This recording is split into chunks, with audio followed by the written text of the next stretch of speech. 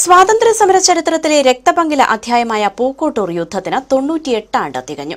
British സാമ്രാജ്യത്വ ശക്തികൾ തന്നെ യുദ്ധമെന്ന് വിശേഷിപ്പിച്ച പൂക്കോട്ടൂർ യുദ്ധം ആയിരത്തി തൊള്ളായിരത്തി ഇരുപത്തിയൊന്ന് ഓഗസ്റ്റ് ഇരുപത്തിയാറിനാണ് നടക്കുന്നത്. ഈ ചരിത്ര സംഭവത്തിന് അർഹമായ ചരിത്ര പ്രാധാന്യം ഇനിയും ലഭിച്ചില്ലെന്ന ആക്ഷേപം നിലനിൽക്കുമ്പോഴാണ് പൂക്കോട്ടൂർ യുദ്ധവാർഷികം നൂറ്റാണ്ട് പിന്നിടാനിരിക്കുന്നത്. സ്വാതന്ത്ര്യ സമരത്തിന്റെ ഭാഗമായി ഉത്തരേന്ത്യയിൽ അലി സഹോദരന്മാർ ഉയർത്തിയ ഖിലാഫത്ത് പ്രസ്ഥാനം മലബാറിൽ ആലി മുസ്ലിയാറും മലപ്പുറം കുഞ്ഞിത്തങ്ങളും വാര്യംകുന്നത്ത് കുഞ്ഞഹമ്മദ് ഹാജിയും ഏറ്റുപിടിച്ചതോടെ പൂക്കോട്ടൂരിലും പ്രക്ഷോഭം ശക്തമാവുകയായിരുന്നു. ഇതേ തുടർന്ന് ആയിരത്തി തൊള്ളായിരത്തി ഇരുപത്തിയൊന്ന് ഓഗസ്റ്റ് ഇരുപത്തിയാറിന് നടന്ന രക്തരൂഷിത പോരാട്ടമാണ് പൂക്കോട്ടൂർ യുദ്ധം. ബ്രിട്ടീഷ് അധിനിവേശ ശക്തികൾ തന്നെ യുദ്ധമെന്ന് വിശേഷിപ്പിച്ച ഏക പോരാട്ടമായിരുന്നു പൂക്കോട്ടൂരിലേത്. എന്നാൽ സ്വാതന്ത്ര്യാനന്തരവും അർഹമായ പ്രാധാന്യം ഈ ചരിത്ര സംഭവത്തിന് ലഭിച്ചില്ലെന്നത് വസ്തുതയാണ്.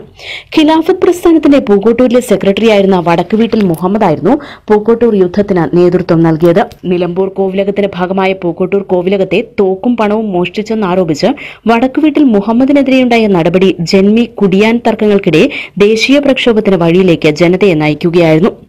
ആയിരത്തി തൊള്ളായിരത്തി ഇരുപത്തിയൊന്ന് ഓഗസ്റ്റ് ഇരുപതിന് കണ്ണൂരിൽ നിന്ന് തിരൂരങ്ങാടിയിലേക്ക് പുറപ്പെട്ട ബ്രിട്ടീഷ് പട്ടാളത്തെയാണ് നാടൻ ആയുധങ്ങളുമായി പൂക്കോട്ടൂരിലെ ഭടന്മാർ നേരിട്ടത്. പൂക്കോട്ടൂരിനും പിലാക്കലിനും ഇടയിൽ നടന്ന യുദ്ധത്തിൽ മരിച്ചവരുടെ ഖബറിടങ്ങൾ കോഴിക്കോട് പാലക്കാട് ദേശീയപാതയോർത്ത് ഇപ്പോഴും ചിതറിക്കിടക്കുന്നുണ്ട്. സ്പെഷ്യൽ ഫോഴ്സ് സൂപ്രണ്ടായിരുന്ന ലങ്കാസ്റ്റർ അടക്കം പത്തോളം ബ്രിട്ടീഷ് സൈനികരും നാനൂറിൽ പരം മാപ്പിളമാരുമാണ് പൂക്കോട്ടൂർ യുദ്ധത്തിൽ കൊല്ലപ്പെട്ടത്. കോൺഗ്രസ് ഖിലാഫത്ത് നേതാക്കളായ Abdurahman Sahib M P Narayana Menon E Moidu Moulavi Gopalamenon എന്നിവരുടെ പങ്കും പൂക്കോട്ടൂർ യുദ്ധത്തിലേക്ക് ഗ്രാമീണരെ നയിച്ചതിൽ പ്രധാനമാണ്. സ്വാതന്ത്ര്യ സമര ചരിത്രത്തിൽ വീരോദാത്തമായ ഈ അധ്യായത്തെ ഭാരതീയ ചരിത്രകാരന്മാർ വേണ്ടവിധം പരിഗണിച്ചില്ലെന്ന ആക്ഷേപം ശക്തമാണ്. ഭരണകൂടങ്ങളും പൂക്കോട്ടൂർ യുദ്ധത്തെ വിസ്മരിക്കുന്നെന്ന പരാതികൾക്കിടെ കഴിഞ്ഞ യു ഡി എഫ് സർക്കാർ പൂക്കോട്ടൂർ യുദ്ധത്തിന്റെ ഗവേഷണത്തിന് ചരിത്ര വിദ്യാർത്ഥികളെ പ്രാപ്തരാക്കും വിധം ലൈറ്റ് ആൻഡ് സൗണ്ട് ഷോ സംവിധാനം ഒരുക്കുമെന്ന് പ്രഖ്യാപിച്ചിരുന്നു. ഇക്കാര്യത്തിൽ പക്ഷേ തുടർ നടപടികൾ ഉണ്ടായില്ല. വിദേശികളടക്കമുള്ള ചരിത്രകാരന്മാർ പൂക്കോട്ടൂർ യുദ്ധത്തിന്റെ ദിശ തേടി പൂക്കോട്ടൂരിലെത്തുമ്പോൾ ഗ്രാമപഞ്ചായത്തിന് മുന്നിലുള്ള യുദ്ധസ്മാരകവും പഞ്ചായത്ത് കാര്യാലയത്തിലെ അപൂർണമായ പുസ്തക ശേഖരവും ചിതറിക്കിടക്കുന്ന ഖബറിടങ്ങളുമാണ് നാടിന് മുന്നിലുള്ളത്.